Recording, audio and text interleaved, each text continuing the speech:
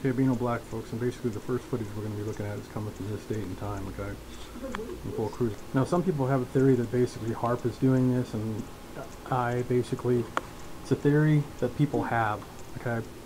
I'm not trying to discount that theory, okay? I always keep all options open, but the, the pretty much the majority, this should be a star or stars, which are, you know, 4 to 74 to 78 times the size of the sun. So, and basically with the icy surface, we get a reflective, a reflective uh, natural telescope from out in space, okay?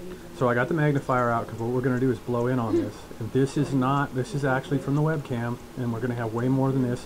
So let's hurry up and get in on this at 888.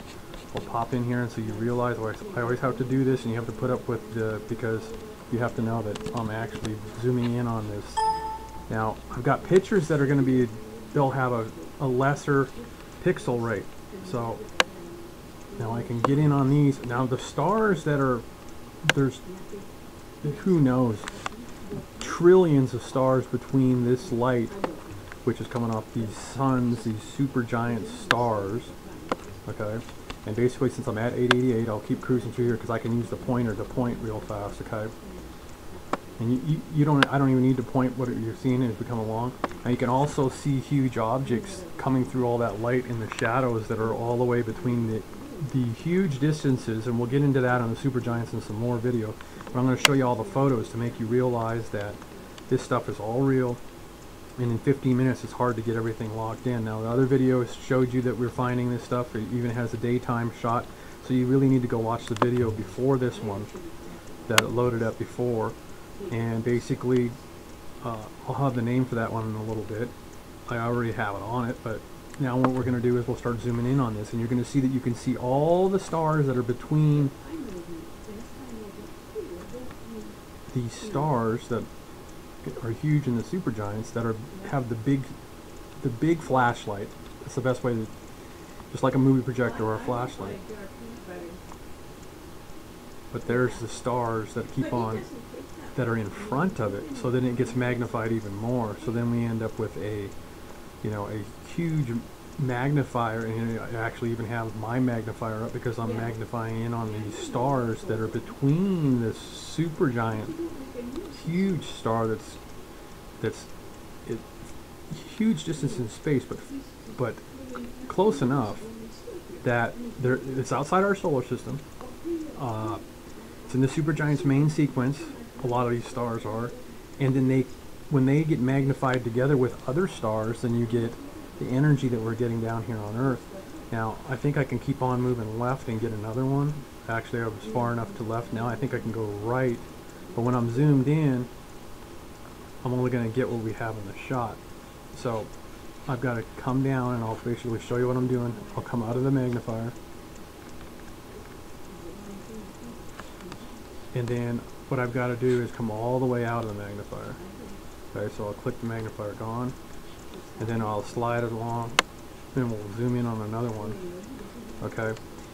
And it's more than one star, and as you can count right now, at this one we had one, two, three, four, and then it gets kind of, because you know this one's huge, we just count this as one. This must be one of the ones that's like 78 times the size of the sun, okay? And yes, they're in alignment out there in space. Tons of the supergiant stars are in alignment out there. That's why you get stars going bling, bling, bling, and that's why we get the bling, bling that I showed you even in the last video before this one. Okay, and I'll have the name at the very end of this video. And I'm not trying to capture you. I just I, I come I this stuff's coming so fast that I just have to. And then let's zo zoom in on this one real fast. We'll get the zoom out and on this, and then we're gonna hurry up and go to a bunch more footage that I what I can show you is uh, lower resolution because it's pixels. Because when I save the pictures off of the webcams, then you don't get as good a resolution, and then you see all these stars that are trapped in the light curvature from these supergiant stars that are huge, that are 4 to 78 times the size of the sun out in space. and then I'll take out of this, and then you, you see basically, so you get a good idea of what we're getting down here on Earth, and it takes many years for this light to get here. Okay, and then that's either you take your guess, is that just one huge star, or is that, uh, and then we can look at the magnifier, and you're going to see that all the stars between that star get magnified even more. If you see that there's stars but the, the big star is what you're seeing, the big orangish yellowish from the whole size of that. You see, and then you see stars there, that, and you can't miss stars. When we zoom in with the zoomer, you can see it at the right resolution. Okay, and then we're over at this one. And then I'll take the zoom and we'll pop back. And I think I was already at, zoomed in on this one. We'll just zoom in real fast. Okay, so supergiant stars, which are huge, 4 to 78 times the size of the sun. And remember, there's an object in space that's 747 times the size of the sun. Pretty much why they came out with the 747 for Boeing. They've known about it. So basically, Boeing's probably never going to admit to that it was named after a star, something that's huge. It's basically, it's not really known if it's a star or not. It's just the hugest object that we've ever seen in space. It's 740 times, 747 times the size of the sun. Okay, and then i.e. they call the 747 the big plane, and now they got the 757, 7, okay, and so on and so forth. Okay, so whatever. Whether it was the, really the reason they call it 747, they're going to say it was the 747th model, and then that's fine. But no matter what, there is an object in space that's 747 times the size of the sun. Okay, so I'll come down in size on this shot a little bit. And this is what we've got saved from off of the webcams up here at Alaska. And let's go to some more shots. Now this one's one that's going to be featured for a while because Hottie Holy Hockey Fact, Fact, Beano Black, okay? Just being, well, you know, whatever. We can't cuss on internet, right? We don't want to, right? We're going to be, so Hottie Hottie. Hottie Holy Hockey Fact, Fact, Beano Black. That one's going to show you what we got going down at the South Pole. Okay, so now let's get some more of what we got going on at the North Pole with this basically being a Mother, Mother Nature's Hubble telescope, okay? Now I blow in on this footage here and you're going to have to go watch Hottie, not hyperbolic stars being all black, okay? But there's a possibility that this could be hyperbolic stars. Now I'm not blown in yet. You'll watch that video and you'll be able to see these stars along here, that they're the same stars that we're seeing that we're looking at all this footage, okay? Because basically I'll pop up all these shots here, okay? We're going to go through these and I can zoom in with the zoomer but you'll see that the digital and then basically you see this is March 6th okay? We got different dates that we're going to have here. And there's going to be different formations of these stars and so forth and so on out there okay? So I can get in on like this and you can still see that we have our pixel rate and then we'll pull up the magnifier.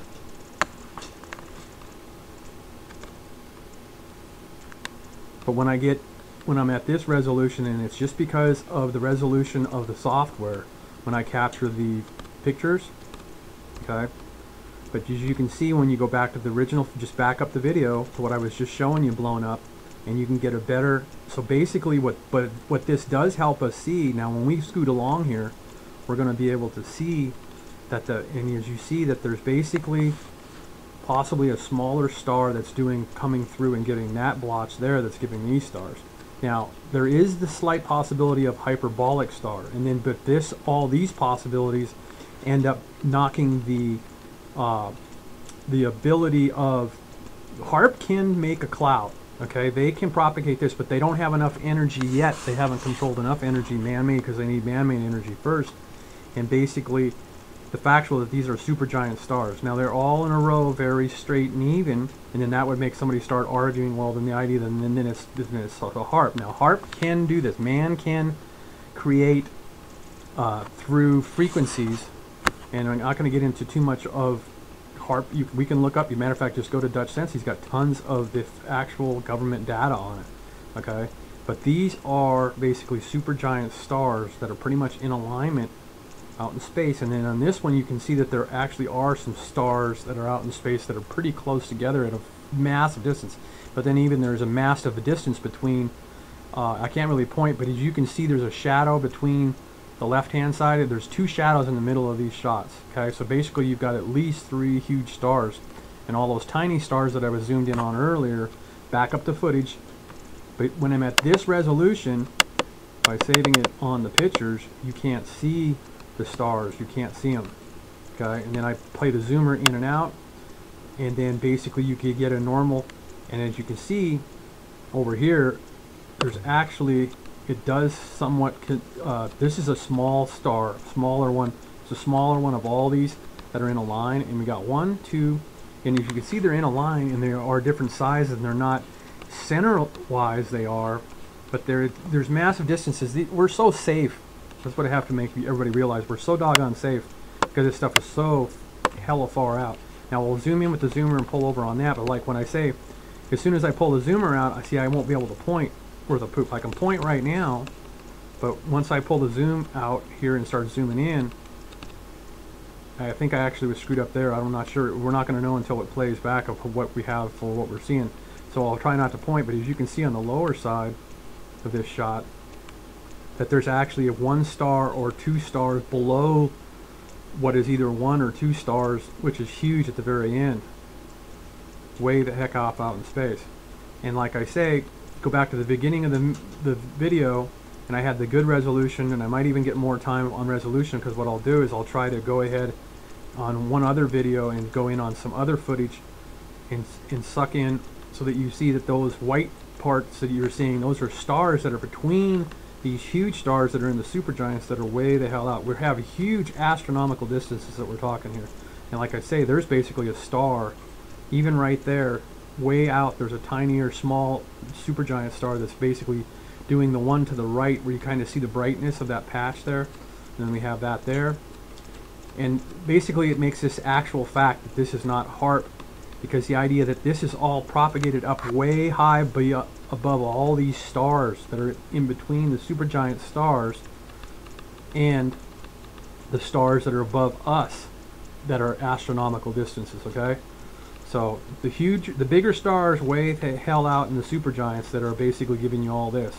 And like I say, on this one here to the right, all the way on the lower, there's a smaller star of the supergiants that's below that huge supergiant star there. And yes, they all are in a row, and I'll get more on the supergiants and showing you that stuff in the future videos. And I've had it in ton of my, tons of my videos. Anybody that's been watching my videos for a long time knows it and has seen that. Now we'll pop up some more pictures that we have. This is an important one here because what we're going to do is we're going to zoom in on this and you'll see because I should be able to get a real good resolution shot of this and go back to that. And what we have is we have this star here. I'll pull the magnifier out. This was footage that was back on and basically once I get the magnifier I will pump in and go to left. We should be able to get that star right there. As you can see the pixels you see See, I had you sucked in on that, and then we'll suck in on this too here. And basically, I can zoom up a little bit, and we will move around, and then we'll get in on this star, pull the magnifier out, and then this is going to be old footage. We'll come up to the date here in a second as soon as we wait for the slow-ass software. And there you go. And we'll come back out. So it's all believed scientific fact that this will make everybody understand more that it's not when someone tries to tell you their brain. So you got to watch out for people's brainwash trying to make you think that it's HAARP Okay?